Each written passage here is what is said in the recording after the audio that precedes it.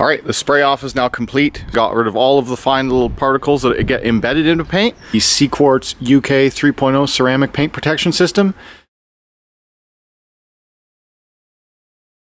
Hello folks, welcome to Netcruzer Cars. I've been working on my Golf R, getting it detailed. So first steps, what I've done so far is I did try my new car soap, CarPro Reset, and I used it as a snow foam and a car wash. So I used it with my Chemical Guys pump sprayer to uh, to snow foam and then after washing it with the hand wash then I went over it with eraser. This one is a gets rid of the oil film. So now the car is very clean. It has been sitting outside overnight but overall it's pretty good. So I've just taken all of the water off of it. So the only thing that this has had so far has been wash eraser and, and now the next step is going to be decontaminate the paint. A couple of things with having a white vehicle is you get these little iron filing spots. These type of things right here these little orange flecks those are iron filings and so you notice them heavily on white cars. You want to try and get that off. So I'm going to use a chemical iron remover right now. I'm going to spray the whole car down let it all dissolve all the iron filings then rinse it off and then I'm going to go back with the clay bar. And that's the decontaminate step. And then after decontamination then it will start to be uh, I think I'm almost ready to start the DA polish. Even though this is brand new factory paint and it's only ever had one hand wash so far there are a couple of swirl marks in the hood that I'm going to try and buff out before I ceramic coat this thing. Magma it up.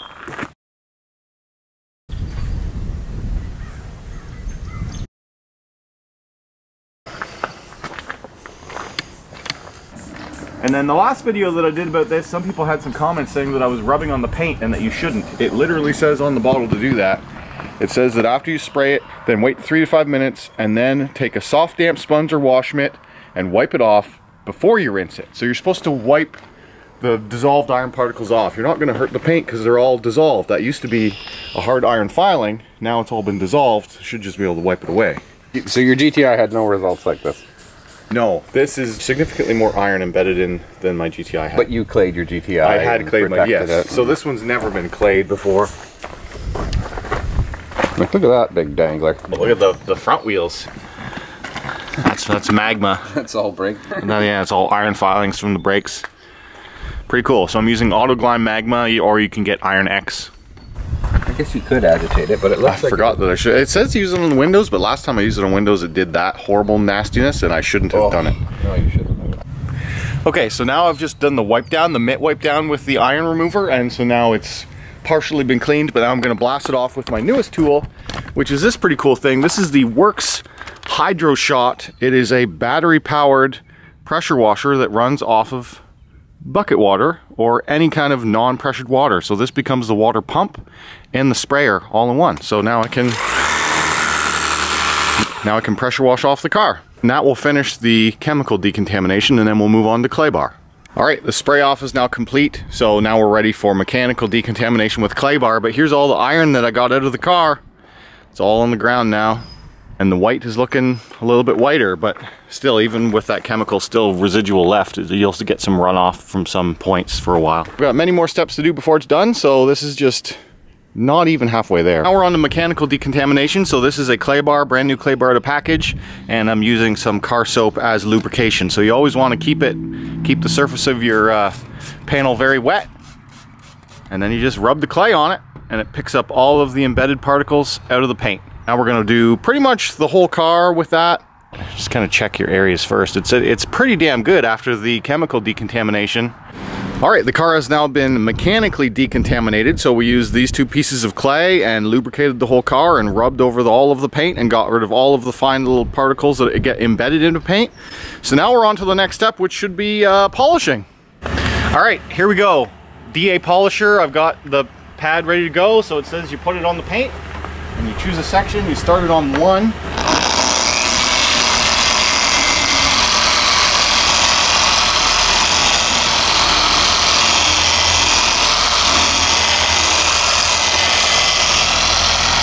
Very light section.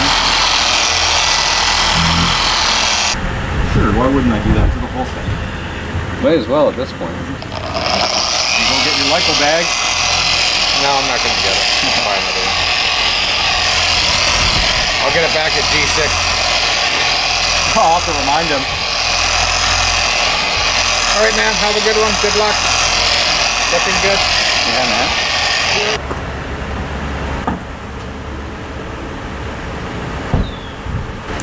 Anyway, just gonna keep doing the whole car like that.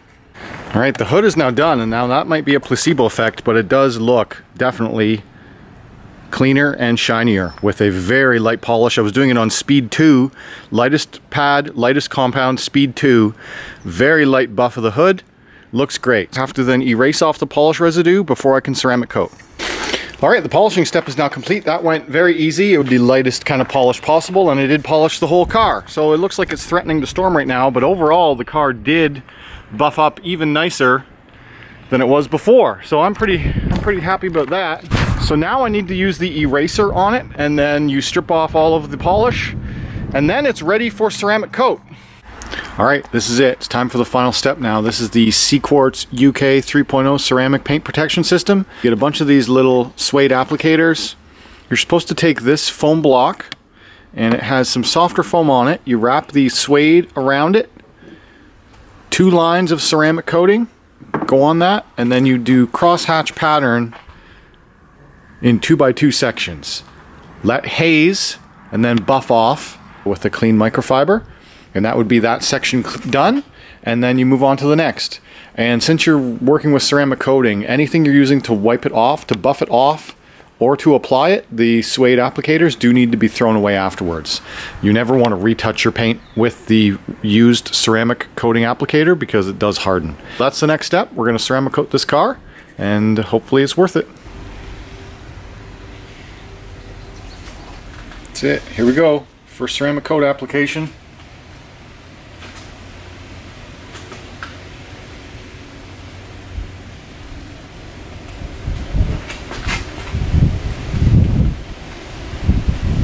And then I just have to wait for it to flash, and then you buff.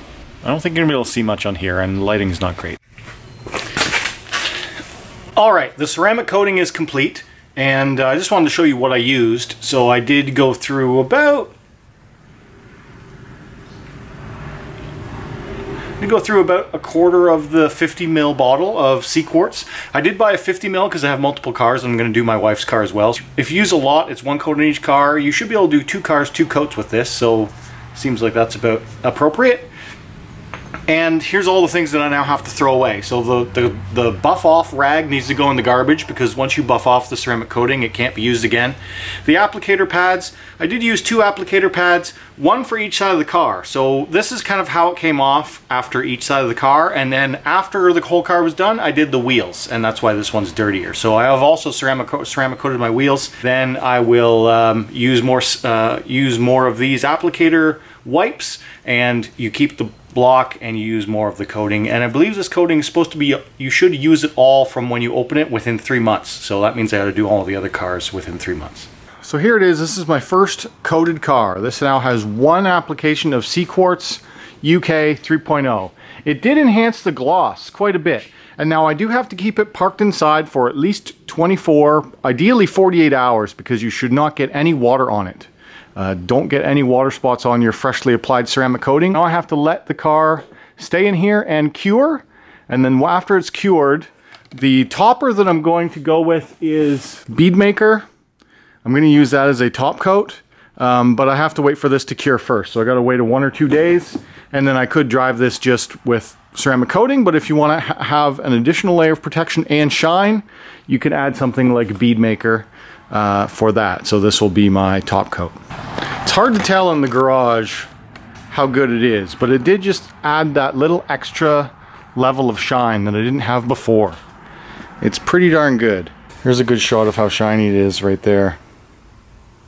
So in order to get these results, this was a multi-step affair, almost, well, a full day's worth of labor probably to get it to this point where it has been coated once. So what was done to the car to get it to this point? First of all, it was a snow foam wash, and then a hand wash, then an eraser. Uh, that's like an IPA-based solution that gets rid of oil, uh, road film and oils. Then we slept overnight. The next morning we got up and then we did a iron-based contamination. So I did magma, AutoGlym magma, or you can get Iron X. Removed all the iron, and then we did a clay bar, and then we did a polish, and then we did an erase to get rid of all the residue from those things, and then I ceramic coated it. And so that's where we're at right now. I could have done a much more aggressive polish to get rid of all types of orange peel, but I didn't do that. I did like the lightest polish possible, just enough to get rid of any kind of swirls that, that occurred over the winter. So it is better to have some of those bumps and valleys in your paint because uh, it does give you more material to work with long term. The car's brand new pretty much. It only has 6,000 kilometers on it. So I gave it a very, very light polishing before its first ceramic coat. Alright, it's now been approximately 36 hours since I ceramic coated the car and it's not supposed to rain today. It's actually a beautiful day, so I'm going to pull it outside let it uh, cure in the sun for the last few hours before I go drive it today. So this will be the first time we're going to see it pull out into the sunshine with the new ceramic coating.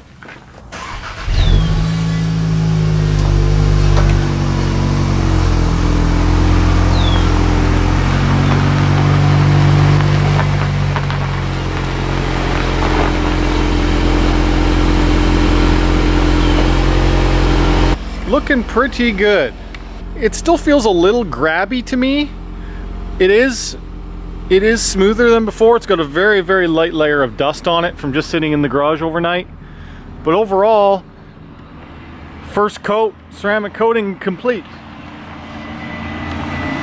Now it would have been ideal to actually get two coats of ceramic on it, but I just didn't have the time to do that yesterday. So it's only got one, but I'm also going to use toppers on it and maintain it. So I might do another coat later, like in a week or so, I might do another coat, but I'm also going to try that new bead maker stuff as well. I've even ceramic coated this, but I did not polish these, so there's very slight swirls, but overall the hood looks excellent.